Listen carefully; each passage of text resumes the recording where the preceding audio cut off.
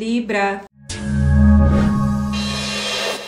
A espiritualidade. Gente, é assim funcionam as coisas. Vai falar com você, já deixa sua gratidão aqui embaixo, porque a graça vai chegar para você sim. E eu sou grata a você por tudo, tá? Sempre. Ó, oh, vamos lá. O eremita.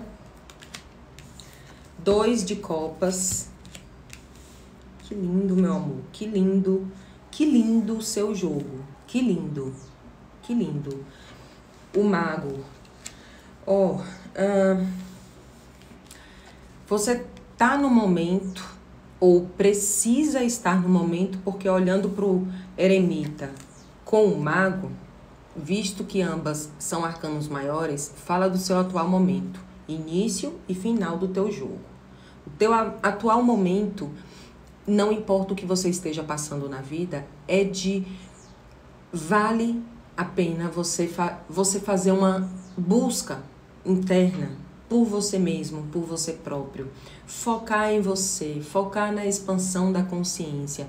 Depois procura procura a carta do, porque aqui é um outro tarô, mas é o mesmo significado.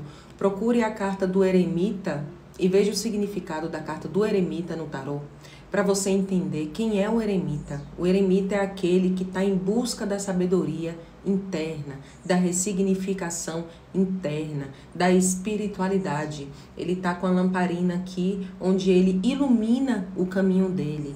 Ele já é um, na carta uma pessoa mais velha, né?